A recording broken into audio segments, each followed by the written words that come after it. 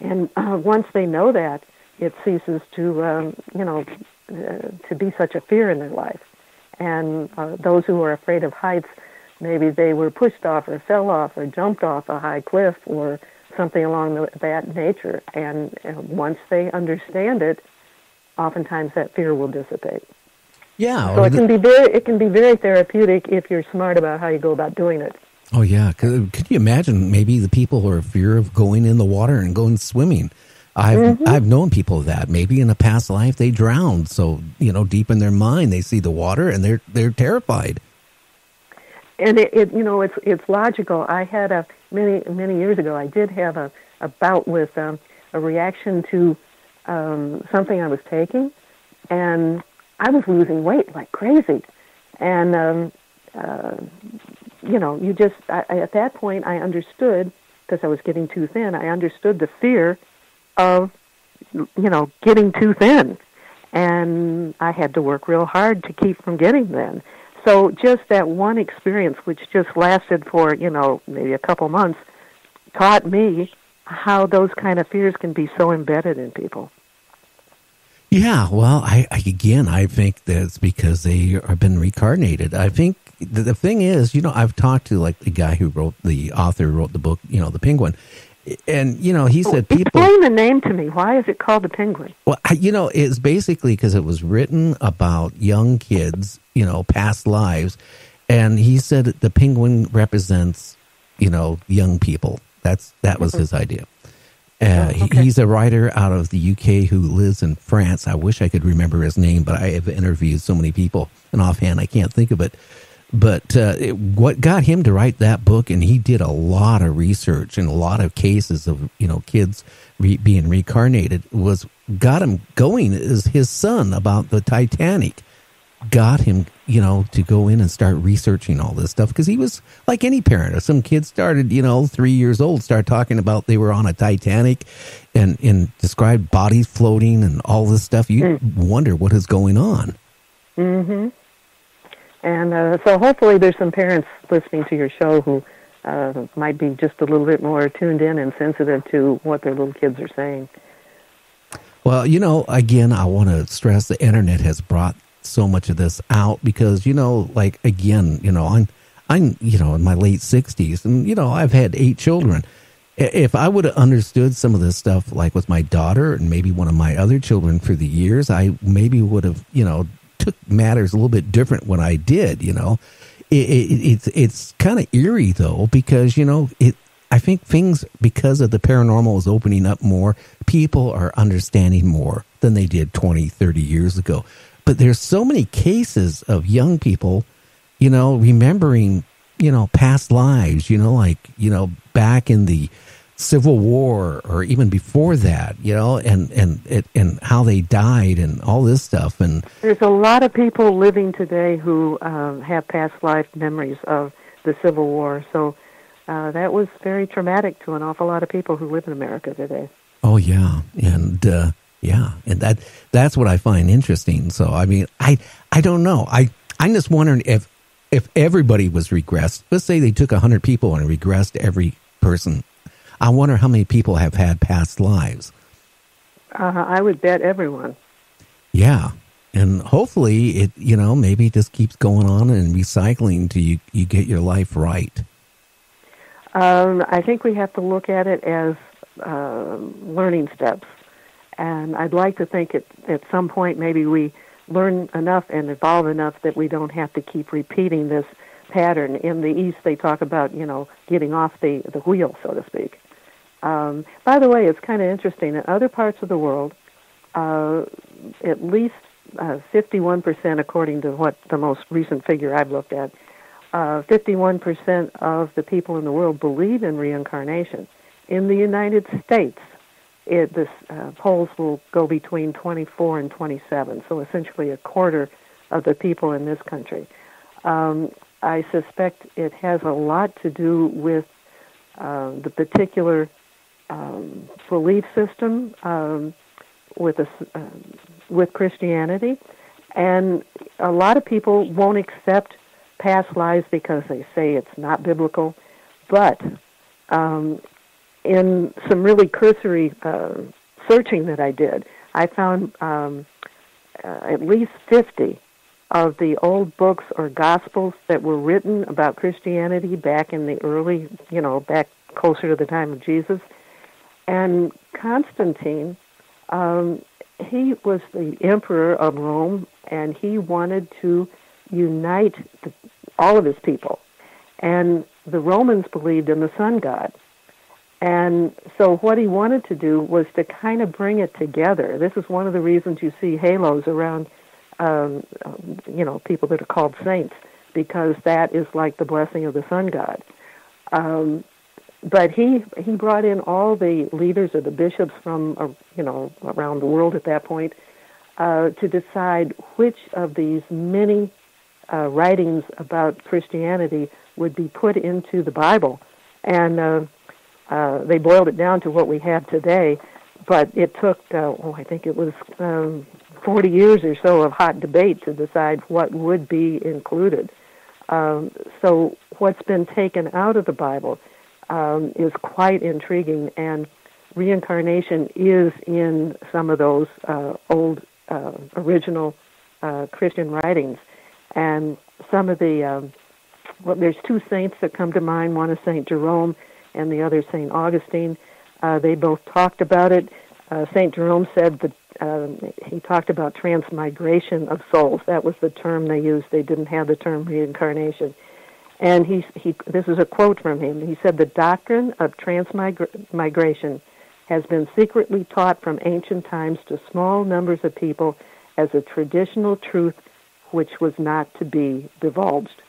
And um, uh, Augustine got a little bit more convoluted, but he talked about uh, uh, uh, the the student. There's a man who was so much like Plato that he talked about he must have been reborn again. I think his name was Plautius or something very close to that. Uh, they were, I think, at least a century apart, but their outlook and their philosophy was so similar that he said they it must be the same soul reincarnated. Um, so Christians need to realize that um, uh, this really was a part of early teachings, and it was uh, taken out. Many people believe it was taken out to um, so the church could keep control over the people. If you believe in reincarnation, then you realize that what happens to you and your soul or, or your relationship with God or the Creator is up to you the people who were in charge of the church at that time, they wanted people to have to come to them for guidance or for you know whatever, or, and it was a, a much of it was to control people, and uh, so they were very eager to uh, take reincarnation out of the teachings. Oh, I wouldn't doubt that. You know, another thing I'm thinking about too is the schools. When you have a child, for example, who's like going into the first year of school, like kindergarten or first grade, I can imagine how teachers would respond if a kid would get and said, "Well, I, I, I know that from," and and I just can see the teacher coming back and saying, "No, you know, you, got to and shut them down real, shut them down real quickly." Oh yeah, and then the next thing they do is they contact the parents, right, and say, "Well, your kid has this overactive imagination." So the parents end up taking the child to the doctor, and guess what they give them? They put pills into them. They put pills into them. Yeah. Yeah, to make him a, basically a zombie. Mm-hmm. Yeah, and yep. th- that, that's interesting. You know, again, uh, when I had that uh, ex detective on my show, he was talking about one of his clients, which then he had the client get a hold of me, and she ended up being on my show. She remembered after she was brought, you know, uh, into whatever the state was. She re- she claims that she uh, was there in Pompeii when the uh, volcano volcano erupted. went. Yeah, and she described a lot of stuff. It was so eerie. Uh, she just said that the ash came down, and then people were just falling and dying and stuff like that. And then you know, uh, her uh, husband was in the military, and she had a chance to go there. You know, and she said she she knew if the area felt like home. Hmm. And that was just so eerie because the way she described, you know, how the uh, volcano erupt and all how the people were panicking and all this stuff. Maybe she had a over, uh, you know, active imagination. But again, the the person who did the regression with her really was convinced she was telling the truth. Yep, there's a lot of that. Uh, you know, people will have this uh, extreme emotional reaction to a place. Uh, there was a, a woman, I think at the time I met her, she was in her 80s, and she uh, visited, um, I think the south of France where the Cathars were, and this was a, a early Christian type group that the Roman Church uh, essentially killed off because they were teaching the same thing the Roman Church was. And when she visited that site, she just broke down and wept um, because, you know, at some deep level, she could remember all the trauma from that particular place. So that's, um, I mean, that's understandable, really. I'm just wondering through the years, especially, let's go back, seriously, back before 40s, go in the 30s, 20s, and before. People who, you know, claim that they, you know, and I'm sure they always have, people remembered past things in, in their lives. I wonder how many people ended up in mental institutions and all this stuff because when they were a little kid, they were saying stuff to people, and people around him just, you know, couldn't digest what they were saying. I think the same thing happens to people who have had abduction experiences, which I think I think it's terrible uh, that uh, any beings can abduct and poke and prod people. I don't. I think that violates some kind of universal law, as far as I'm concerned. But uh, some of those people have ended up in institutions too, especially in the past, because it sounds totally insane well, you, somebody who doesn't have a broader understanding. Oh yeah, and you know, like Calvin Parker was on my show, and he came back on his own, and he said that he d- didn't feel like his abduction where they were carrying that he basically felt that he was abducted and you know in the same way if anybody was abducted there whoever does it ends up in prison i mean it, could you imagine how much turmoil that would create in somebody's mind for the rest oh. of their life oh it would be awful. No it's it's scary. And uh, yeah it would be awful.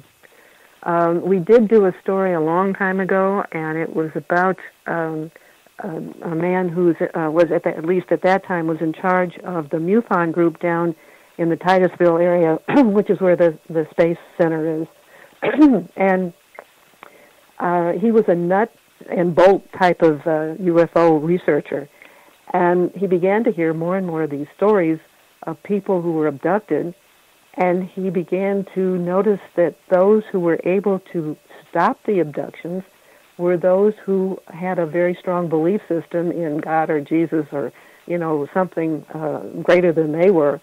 And they were able, through uh, a deep belief in the power of being protected, that they were the ones that were able to break that abduction cycle. Um, I don't know if that's um, uh, universal or not, but he had quite a few cases where uh, that's how people were able to stop abductions. I'm just wondering how many people have been abducted in past lives and it continues on. You know, I, I sometimes I really feel like we're being like cattle, we're being experimented on. So I, oh, I, I think I think we're a big genetic uh, experimentation on this planet. Well, how about you? Why don't we just say maybe we're nothing more than a big farm? Uh, some people feel that way. But I, I just kind of wondering because I don't. How can I say this? It, you know, if they're following somebody from a, a, childhood all the way up to an adult, it makes me wonder again. Well, maybe that's what they're doing, but how about previous lives? Had they been followed through previous lives? I mean, you know, I, the, the technology of whatever is going on is sure, sure more superior than anything we have. So that's another thing too, because it's I have a t- wonderful question. I sure don't have an answer to that one. No, I would really like you know somebody who's done research on that. If they know that people had uh, previous lives had the same thing uh, happen to them in previous lives, being abducted, mm-hmm. and is it carried on to their previous and then to their current life? I don't know. It's a good question. Uh, it is uh, uh, quite common that generations with the same within the same physical family um, there will be abductions, you know, grandparents, mother, father, child. Uh, that seems to be real common. Whether it carries over to the level you're talking about, I just don't know. I don't either. Now, when you were a child yourself, Did you ever have when you like, you know, I still remember little bits and pieces when I was like four or five years old, believe it or not.